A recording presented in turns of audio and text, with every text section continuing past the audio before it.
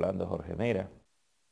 Y ayer también el Ministerio Público ha iniciado el proceso de coerción contra Miguel Cruz, que fue, eh, que dice que disparó, el Ministerio Público dice que disparó 13 veces. 13 tiros, de los cuales impactó 6. Eh, ahí hay una pequeña diferencia con lo que originalmente se dijo, que habían sido 7 balazos que lo habían impactado. Dice el ministerio que 6 y que este hombre disparó 13 veces y que la última expresión de Orlando fue, Miguel, no, parece en el momento que ya le iba a disparar, iba a iniciar a disparar. Sacó la pistola. Ahora, eh, ha dicho el Ministerio Público o ha señalado en el expediente el móvil del crimen eh, y dice que el móvil del crimen eh, fue la negativa del ministro de aprobarle permisos para terceros, es decir, lo que quiere decir que eran gestiones que este señor aparentemente hacía para terceros. Y específicamente se habla de una empresa que parece que fue la que rebosó la copa, eh, que estaba requiriendo permiso para exportar baterías usadas.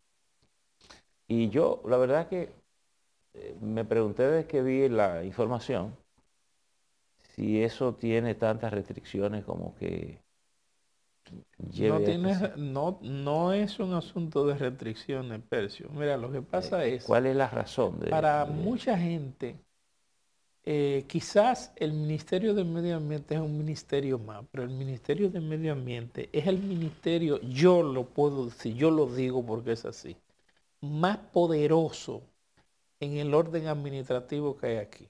Mira por qué.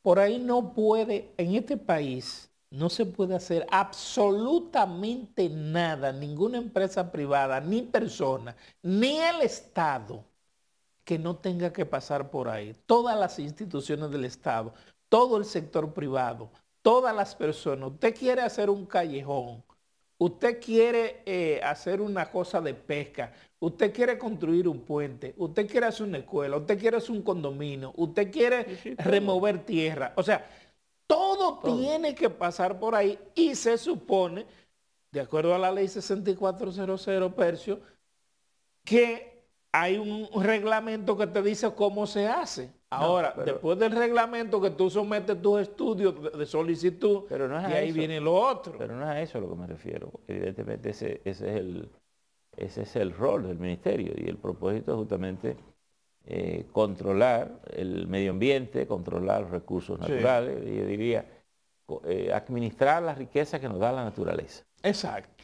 Eh, a lo que me refiero es a la razón, es decir, a esta, este tipo, porque... Ah, bueno, eso es lo que no, explican en el expediente. No es una grancera, porque tú dirás, bueno, el conflicto con la grancera, pero es se dice un permiso para exportar baterías usadas, es decir, llevárselas lo que no dejaría de ser la batería un elemento contaminante. Un elemento contaminante, pero que se supone que antes de tú exportarla tienes que someterla a un proceso de limpieza y de todo ese tipo de cosas para exportarla como desecho. Y si tú no tienes permiso para eso, no lo va a hacer. Ahora, independientemente de eso, que, lo, que es lo que plantea el Ministerio Público, se habla de que él era un también un, un, intermediario entre gente allegadas a él que solicitaban permiso para extraer agregados o de mina o de cosas. Me imagino que ese es el tráfico. Eh, eh, eh, él, era, él, era, el que hacía eso.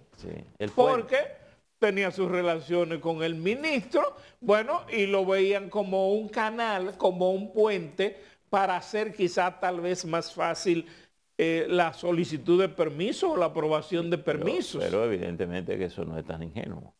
Naturalmente que no es ningún ingenuo.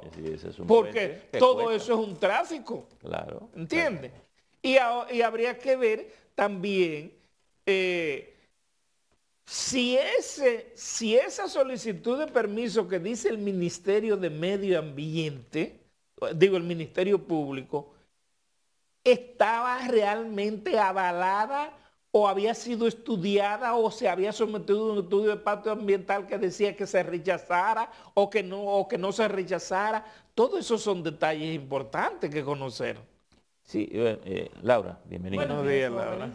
Eh, una de las cosas, una de las cosas que también me llama la atención es que, y yo no sé si eso es parte del informe del Ministerio Público o es algo que es una versión, sé que le he visto, este individuo parece que reclamaba que había hecho la campaña y que no le habían correspondido. Sí.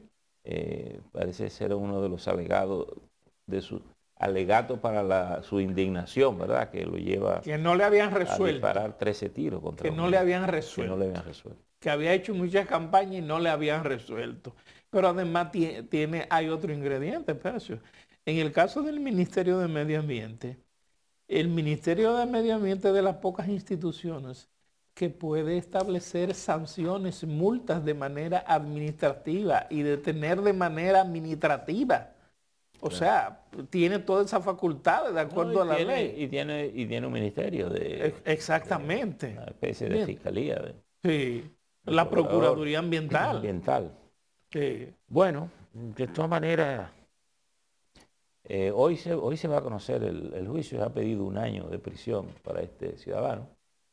Eh, la verdad es que uno no acaba de entender esto. Eh, y uno no acaba de entender además este ambiente. yo, yo no sé qué es lo que tenemos que, que vamos a hacer con el país, pero